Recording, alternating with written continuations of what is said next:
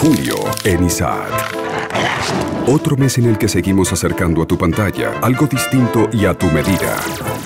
Primer plano ISAT. Alan Pauls desde su sillón y lo mejor del cine independiente. Una mirada triste y cómica al talento en Mistaken for Strangers. Y todo lo que nunca imaginamos, la música belga en The Sounds of Belgium.